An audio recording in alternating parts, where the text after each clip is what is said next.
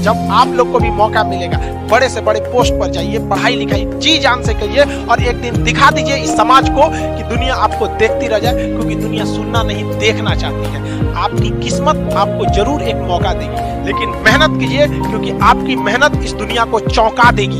Students को कहते हैं, आप ये मत सोचिए कि एक महीने में क्या होगा, एक साल में क्या होगा। आप ये सोचिए कि अभी जो 24 घंटा आपके पास, इसमें आप क्या कर सकते हैं? इस 24 घंटे के अंदर अंदर पाने के लिए कुछ खोना नहीं बल्कि कुछ करना पड़ता है।